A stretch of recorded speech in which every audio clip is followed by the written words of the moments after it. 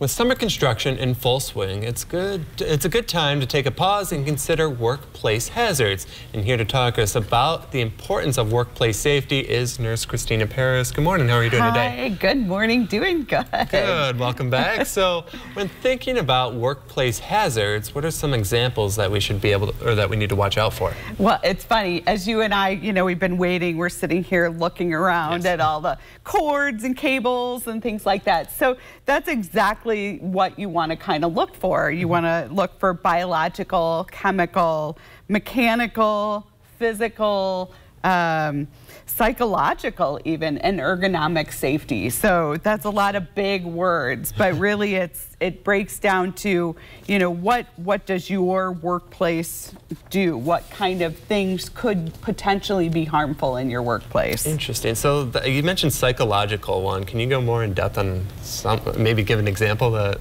Well, so psychological would be, you know, if you worked in a place where um, it, it's very mentally taxing, Oh, like uh, a, an air traffic controller, for Mm-hmm. example. They have to be very focused. They have to be very awake. So that could be a psychological hazard um, of that particular job. Um, the medical field, we know we're hearing things, y- y- you know, we hear out. people's problems, Yeah. right? Burned out.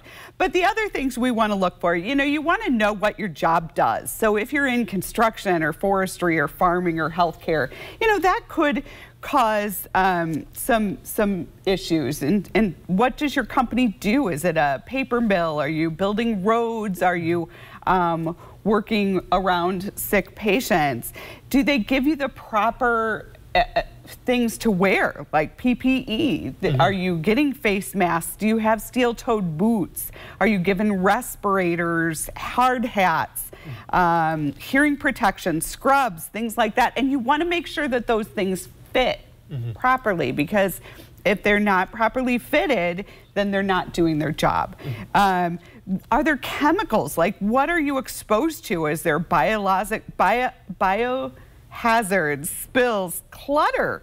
Um, kind of know where your um, safety sheets are, your SDSs, so you know what chemical you're exposed to and you can treat it.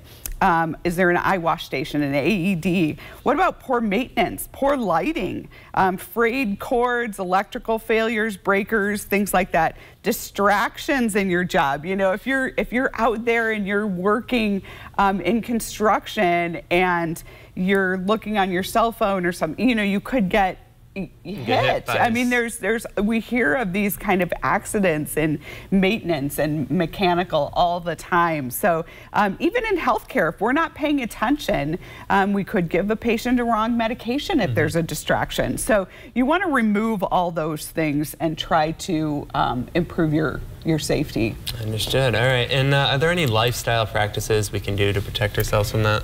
Absolutely. You know, keeping yourself healthy for one, getting enough rest. You don't want to be tired, fatigued. Limit your alcohol intake, especially um, if you work in a field where you really need to focus and pay attention. You don't want to be impaired in any way by alcohol or drugs, because I, I guarantee that's going to be the first thing they test if there's an accident in your workplace. So you should have a safety manager at your work facility or your human resources so you can ask them.